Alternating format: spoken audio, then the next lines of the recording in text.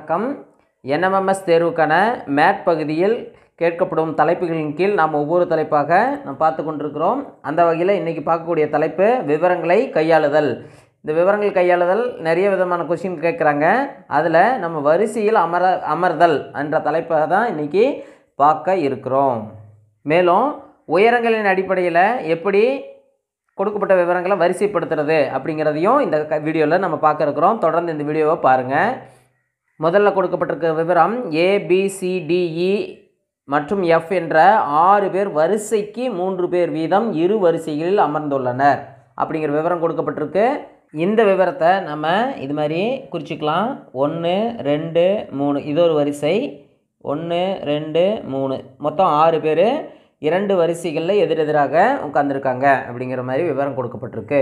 இரண்டாவது விவரம் டி என்பவர் சிக்கு மூளைவிட்டு விட்ட எதிராக அமர்ந்துள்ளார். மூளை விட்ட எதிராக அமர்ந்துள்ளார். இப்போது சி டி இப்போ இந்த இடத்துல நம்ம எப்படி அமர வைக்கலாம் அப்படின்னு பார்த்தீங்கன்னா டி டி என்பவர் இந்த இடத்துல உட்கார வச்சோம்னா இதற்கு எதிரே இருக்கிற மூளைவட்டம் இதுதான் மூளைவட்ட வாக்கில் இந்த இடத்துல யார் உட்காந்துருக்காங்க அப்படின்னு பார்த்தோம்னா சி இப்போது டி சி அல்லது டி இங்கே உட்கார வச்சிங்கன்னா இதுக்கு எதிரே இருக்கிற பக்கத்தில் சி இப்படியும் நீங்கள் எழுதிக்கலாம். ரெண்டு விதத்தில் எழுதலாம். நான் இந்த மாதிரி எழுதிக்கிறேன்.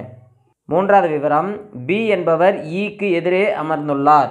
அப்போது இந்த இடத்துல குறிக்க முடியாது இந்த இடத்துல குறிக்க முடியாது நடுவால் தான் குறிக்கணும். பி இங்கே வருமா அல்லது இங்கே வருமா அப்படிங்கிறது கன்ஃபியூஷன் இருக்கிறதுனால அடுத்த விவரத்தை குறிச்சிட்டு இதுக்கு அடுத்து தான் நம்ம அந்த இதை மூன்றாவது விவரத்தை குறிச்சிடலாம். இ என்பவர் ஏக்கும் சிக்கும் இடையில் அமர்ந்துள்ளார்.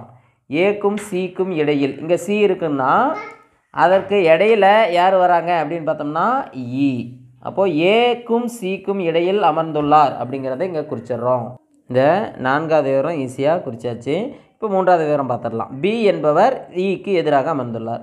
ஈக்கு ஆப்போசிட்டில் நமக்கு பி என்பவர் அமர்ந்துள்ளார். இது குறிச்சாச்சு. அப்போது மூணு பாயிண்ட் முடிஞ்சுது. நான் இந்த நான்கு பாயிண்ட்டுக்கும் நம்ம இது பண்ணியாச்சு. இப்போது ஏபிசிடிஇ எஃப்ங்கிறவங்க e, இங்கே உட்காந்துருக்காங்க அப்படிங்கிற மாதிரி நம்ம இந்த ஆறு பேரோட சிட்டிங் பிளேசஸ் நம்ம செலக்ட் பண்ணுறதுக்கு தான் இந்த ஹிண்ட்ஸ் கொடுத்துருக்காங்க. இந்த இதை வச்சுக்கிட்டு தான் விவரங்களை வச்சுக்கிட்டு தான் நம்ம இது மாதிரி சிட்டிங் கொடுத்துடணும். அதுக்கப்புறம் தான் இந்த கேள்விகளுக்கு நம்ம போகிறோம் இது மாதிரி சிட்டிங் அரேஞ்ச் பண்ணிக்கிட்டிங்கன்னா நீங்கள் கேள்விகளுக்கு விடையளிக்கிறது ரொம்ப ஈஸி முதல் கேள்வி டி மற்றும் சியை தவிர மூளைவட்டத்துக்கு எதிராக எதிராக அமர்ந்திருப்பவர்கள் யார்?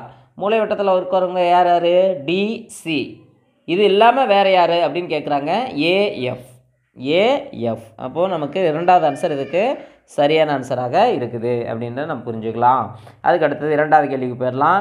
சிக்கு நேர் எதிராக இருப்பவர் யார்? சி. இதுக்கு நேர் எதிராக இருக்கிறவங்க எஃப். நேரடியான கேள்விகளாக தான் இருக்கும் எளிமையாக தான் இருக்கும். ஆனால் அந்த விவரங்களை கரெக்டாக சிட்டிங்கில் உட்கார வச்சுடுங்க.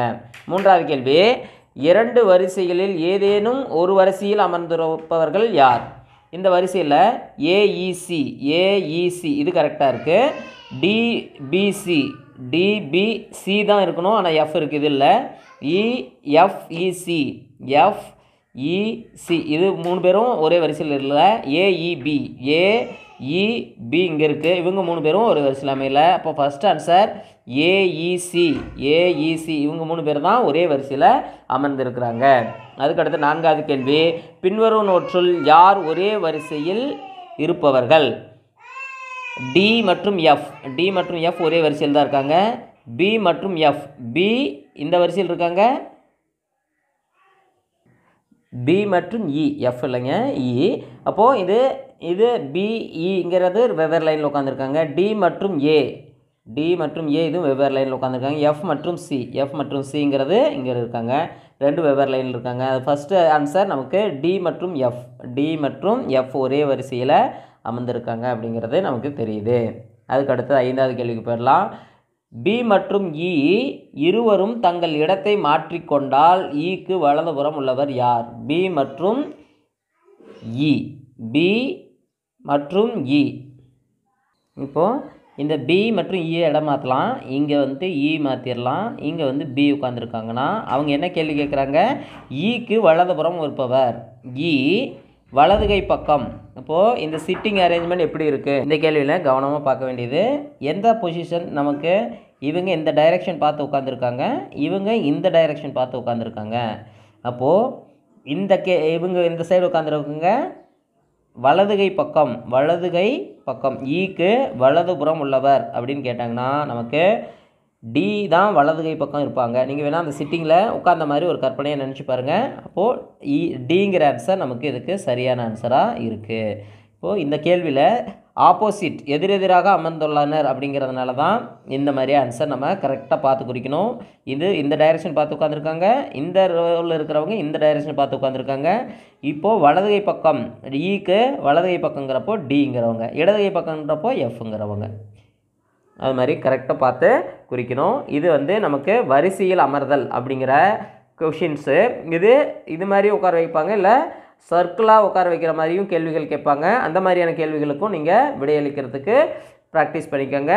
நம்ம அடுத்தது உயரங்களின் அடிப்படையில் எப்படி நம்ம அரேஞ்ச் பண்ணுறது அப்படிங்கிறத பார்த்துடலாம். என்எம்எம்எஸ் பகுதியில் மேட் கேள்விகளை கேட்குறாங்க அந்த வகையில் நம்ம விவரங்களை கையெழுதலில் உயரங்களை அடிப்படையில் எப்படி வரிசைப்படுத்துகிறோம் அப்படிங்கிற மாதிரி கேள்வியை பார்க்கலாம். ஒரு ஐந்து கேள்விகள் கேட்கறதுக்கான வாய்ப்புகள் இருக்கிறனால இந்த பகுதி ரொம்ப முக்கியமான பகுதி. முகேஷ் ராஜுவை விட உயரமானவர். இந்த விவரத்தை நம்ம எழுதிக்கலாம். முதல்ல நம்ம இந்த பக்கம் இட எப்படி அரேஞ்ச் அரேஞ்ச் பண்ணலாம். குள்ளம் அப்படிங்கிறவங்க இந்த சைடு உயரமானவங்க அப்படிங்கிறது இந்த சைடு வ வலதுகை பக்கம் வர மாதிரி அப்படின்னு அரேஞ்ச் பண்ணலாம். முகேஷ் ராஜுவை விட உயரமானவர். அப்போ ராஜு ராஜுங்கிறவங்களை விட முகேஷ் உயரமானவர். முகேஷ். இப்போ பார்த்துங்க இந்த விவரத்தை நீங்கள் பார்த்தீங்கன்னாவே தெரிஞ்சிடும் ராஜு குள்ளமானவர் முகேஷ் உயரமானவர் அப்படிங்கிற மாதிரி ஃபஸ்ட்டு இதுக்கு நம்ம நோட் பண்ணிடுறோம். இது இதில் முகேஷ் ராஜுவை விட உயரமானவர் ஆனால் விஜயை விட குள்ளமானவர். அப்போது முகேஷுங்கிறவங்க விஜயை விட குள்ளமானவர். அப்போது விஜயை விட குள்ளமானவராக வரணும்னா விஜய் வந்து உயரமானவங்க. அப்போது வலதுகை பக்கமாக அவரை நம்ம நோட் பண்ணிக்கலாம். விஜய். இப்போது விஜய் தான் இது மூணு பேரில் கொடுக்கப்பட்ட விவரத்தில் விஜய் தான் உயரமானவங்க. முகேஷ் அதை விட கொஞ்சம் குள்ளமானவங்க ராஜு அதை விட குள்ளமானவர். அடுத்த விவரத்தை பார்த்துடலாம். சுமன் விஜயை விட உயரமானவர். சுமன் உயரம் தானே உயரம் அடிப்படையில் பார்க்குறப்போ விஜய் விட உயரமானவர்னால் இந்த வலதுகை பக்கம் எழுதணும். சுமன் இவர் தான் அதை விட உயரமானவர். ஆனால் அமரை விட குள்ளமானவர். அமரை விட குள்ளமானவர்னா அமர் தான் அதை விட உயரமானவர். அதாவது சுமனை விட அமர் அமர் தான் உயரமானவர். அமருங்கிறவங்க இருக்கிறதுலே உயரமானவர். அப்போது இந்த விவரத்தில் அடிப்படையில் சுமன் விஜயை விட உயரமானவர். சுமன் விஜயை விட உயரமானவர் கரெக்டாக இருக்குது அமரை விட குள்ளமானவர். அமருங்கிறவங்க தான் இதில் உயரம். சுமனுங்கிறவங்க அவங்கள விட குள்ளமானவர். கொடுக்கப்பட்டிருக்கிற விவரத்தின் அடிப்படையில் ஐந்து பேரை நம்ம உயரத்தின் அடிப்படையில் வரிசைப்படுத்தியாச்சு. இதில் குள்ளமானவர் இருந்து உயரமானவர் வரைக்கும் அரேஞ்ச் பண்ணி வச்சுருக்கிறோம். இதன் அடிப்படையில் கேள்விகளை நம்ம எப்படி ஆன்சர் பண்ணலாம் அப்படிங்கிறத பார்த்தலாம் முதல் கேள்வி மிகவும் உயரமானவர் யார்? அப்படின்னு கேள்வி கேட்டிருக்காங்க. இதில் உயரமானவங்க யார்? அமர். அமருங்கிறவங்க தான் இருக்கிறதுலையே உயரமானவர். இவங்க அஞ்சு பேர்லையே. இரண்டாவது கேள்வி இவர்களில் உயரங்களின் அடிப்படையில் இறங்கு வரிசையில் நிற்க வைத்தால் நான்காம் இடத்தில் நிற்பவர் யார்? உயரங்களின் அடிப்படையில் இறங்கு வரிசை. இறங்கு வரிசைனா உயர் ஹைட்டாக இருக்கிறவங்களிருந்து அப்படியே குள்ளமானவங்களாக வரணும். நான்காவது அடிப்படை நான்காவது நிலையில் இருப்பவங்க. இதுதான் இ- இறங்கு வரிசை. அதாவது இறங்கு வரிசையில் நமக்கு ஒன்று ரெண்டு மூணு நான்காவது இடத்துல இருக்கிறவங்க முகேஷ். முகேஷுங்கிறவங்க நான்காம் இடத்தில் இருப்பவர் அப்படிங்கிறத நம்ம இங்கே குறிச்சிடலாம். உயரங்களின் அடிப்படையில் ஏறு வரிசையில் நிற்க வைத்தால் விஜய்க்கு அடுத்தபடியாக நிற்பவர் யார்? அப்படின்னு கேள்வி கேட்டிருக்காங்க. ஏறு வரிசைனா உயரம் குறைவானதுலேருந்து உயரம் அதிகமான வரைக்கும் எழுதணும். இது மாதிரி எழுதி இது மாதிரி நிற்க வச்சாச்சு. விஜய்க்கு அடுத்தபடியாக விஜய் இவனுக்கு அடுத்தபடியாக இருப்பவர் யாருன்னு பார்த்தீங்கன்னா சுமன்.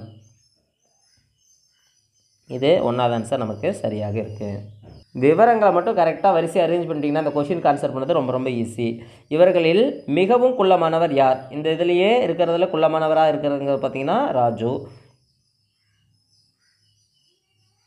இதுதான் ஆன்சர் நமக்கு நாலாவது கேள்விக்கு ஆன்சர் நாலாவது ஆப்ஷன் அதுக்கடுத்து ஐந்தாவது கேள்வி. விஜயை விட உயரமானவர்கள் யார்? விஜயை விட உயரமானவங்க இந்த பக்கம் ரெண்டு பேர் தான் இருக்காங்க. சுமன் மற்றும் அமர். சுமன் மற்றும் அமர்.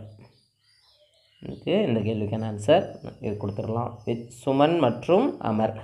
இதே விஜயை விட குள்ளமானவர்கள் யார் அப்படின்னு கேட்டாங்கன்னா ராஜு மற்றும் முகேஷ் அப்படிங்கிறத நம்ம கேள்விக்கு ஆன்சராக கொடுக்கலாம். இது மாதிரி எந்தெந்த மாதிரியான கேள்விகள் கேட்டாலும் சரி நம்ம உயரங்கள் அடிப்படையில் வரிசைப்படுத்துறது வ- அமர வைத்தல் அந்த மாதிரியான கேள்விகள் தான் கேட்குறாங்க. ஒரு ஐந்து கேள்விகள் இதிலிருந்து நம்ம ஆன்சர் பண்ண முடியும். அதனால் இந்த பகுதியை நிறைய கேள்விகள் வச்சு ப்ராக்டிஸ் பண்ணி பார்த்துக்காங்க. விவரங்களை கையாளுதல் அப்படி அடிப்படையில் உங்களுக்கு கொஷின்ஸை ஐந்து கொஷின்ஸ் கேட்குறாங்க. நீங்கள் ஈஸியாக ஆன்சர் பண்ணிட்டு அதிகமான மதிப்பெண் எடுப்பதற்கு முடியும்.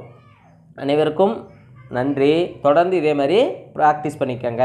கணிதம் கற்றலும் கற்பித்தலும் இனிமை. தொடர்ந்து பயிற்சி செய்வோம். வெற்றி காண்போம். வாழ்த்துக்கள்.